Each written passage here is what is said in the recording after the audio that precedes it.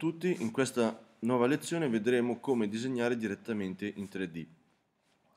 Per disegnare in 3D verificate di essere nella modalità Model e a questo punto ci concentreremo sul menu Create. Qui avete una serie di primitive, cioè di forme tridimensionali già, eh, già pronte per l'uso. La più semplice è Box, cioè il parallelepipedo. Come sempre scegliete il piano su cui disegnare, per esempio XY, poi date il punto di inizio, che si appiccica come vedete con lo snap al piano, le dimensioni che potete modificare direttamente, per esempio se volete dare, eh, un, creare un cubo da 50x50 basta digitare direttamente 50 e con tab passare all'altra casellina. e dopodiché potete, vedete il cubo viene disegnato, potete dare, specificare l'altezza. Tutte le misure possono essere modificate anche a mano lateralmente, hanno effetto immediato e quindi premette ok per creare l'oggetto. Così come il cubo, Fusion 360 mette a disposizione altre forme, le solite, tipo il cilindro, come se, sempre scegliete il piano, il centro e, eh, e il diametro. Anche qua poi sollevate e la figura è pronta. Le altre sono la sfera, quindi specificando anche qua centro e raggio, niente di, niente di eccezionale, eh, e eh, avete anche possibilità di creare anelli, chiamato anche toro, quindi dando eh, raggio interno e il diametro del, del, toro e poi la direzione di, di espansione, cioè se verso l'interno, verso eh, l'esterno o in entrambe le, le direzioni. Quindi in questo modo potete disegnare delle forme primitive e eh, lavorare già in 3D. Ah, disegnando delle forme eh, primitive tridimensionali, l'approccio per la modellazione potrebbe assomigliare a quello per esempio di, di Tinkercad, no?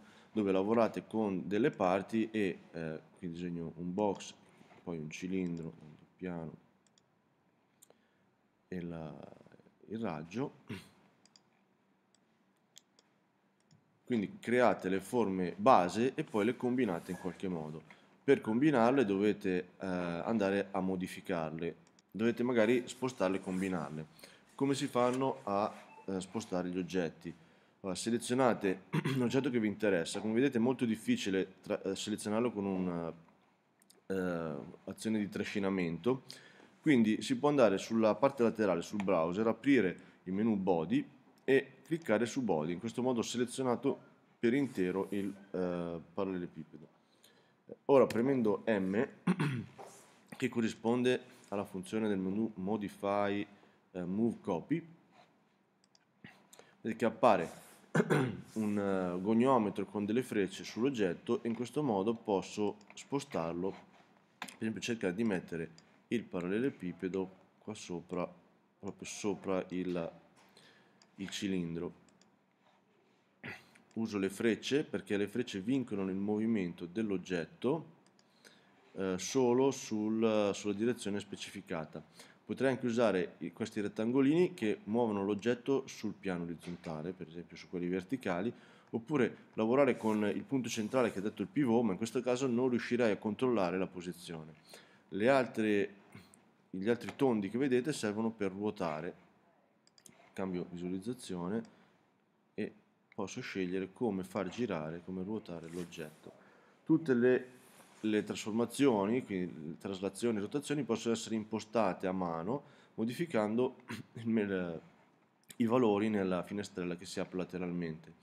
Potete diminuire il numero di oggetti visibili, cioè di, di handler, handler, potete diminuire il numero di handler visibili usando questo piccolo menu, quindi eh, forzando per esempio solo sulle, sulle frecce o, o, tenendo la visualizzazione completa per non confondersi, per fare una copia, copia potete spuntare Create Copy, questo crea un nuovo, un nuovo corpo, vedete che qua nel menu laterale sotto voce body è comparso il body numero 7.